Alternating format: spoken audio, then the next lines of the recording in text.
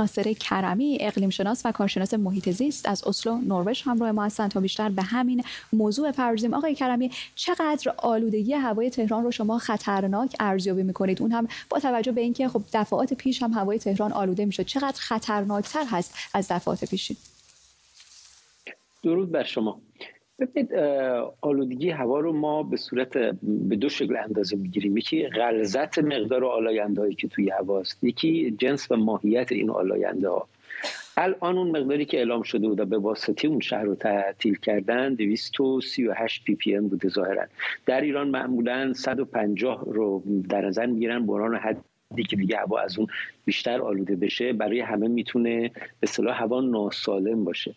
اما راستش من به یاد ندارم که برای آلودگی از جنس ریزگرد برای این حجم شهر رو تعطیل کرده باشن. یعنی اگه قرار باشه شما ببینید الان عدد 238 تو ذهنتون باشه تقریبا هفته هاست ماه هاست در خوزستان در کرمانشاه در ایلام. این مقدار 8000 9000 1000 800 900 حتی 10000 و بیشتره.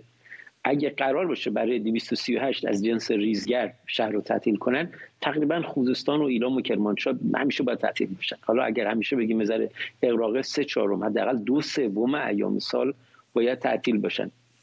البته مثلا برای 300 ppm یا 350 ppm یا یه مقدار نزدیک به اینم هوای تهران تعطیل شده. اما اون برای آلودگی شیمیایی بود. اینجا میگیم می‌رسیم به جنس آلودگی یعنی متفاوت با غلظتش. بله برای آلودگی که مثلا دی اکسید کربن مونوکسید کربن ذراتی که حساب ناشی از احتراق سوختهای فسیلیه اون می‌تونه خطرناک باشه.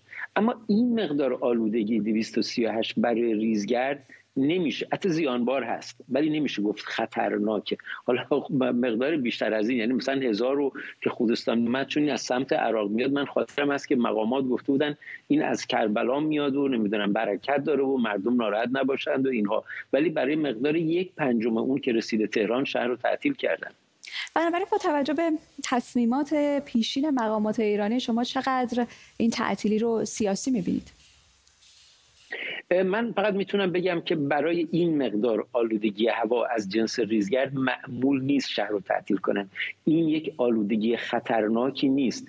زیانبار هست ولی خطرناک نیست. اگر بخوان برای این قد تعطیل کنن اون نیمه غربی شهر رو شاید کشور رو نیمه غربی کشور مرتب باید تعطیل کنن. می‌تونم بگم این معمول نیست و این خطرناک هم نبوده و این تعطیلی از نظر محیط زیستی و اکولوژیکی ضرورت نداشته.